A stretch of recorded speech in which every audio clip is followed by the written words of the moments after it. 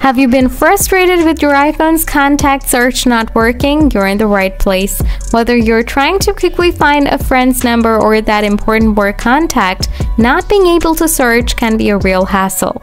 But don't worry, in this video I'm going to show you some effective solutions to get your contact search working. Let's start. Solution 1. Turn off and on iCloud contacts. To do this, open the Settings app on your iPhone Next, tap on Apple ID from the top. After that, tap on iCloud from here. Then click on See All from here. After that, scroll down a little and find the Contacts option. Then toggle it off and hit Keep on my iPhone from the pop-up menu. Now wait for a few seconds and toggle Contacts on again. Then hit the Merge option from here. Now check if the issue is fixed.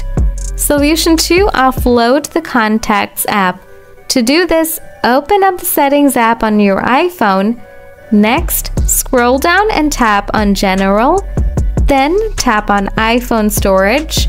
Now scroll down a little and tap on Contacts from here. Next, tap on the Offload App button. Then tap on Offload App and it will be offloaded. Now just tap on Reinstall app and the Contacts app will begin reinstalling. Once it's finished, check if the issue is fixed. Solution 3 Reset your iPhone settings.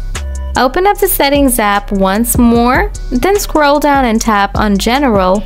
Next, find Transfer or Reset iPhone and tap on it. Now select Reset All Settings.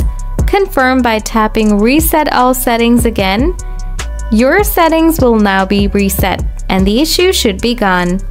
So guys, that's how you find the issue of contact search not working on your iPhone.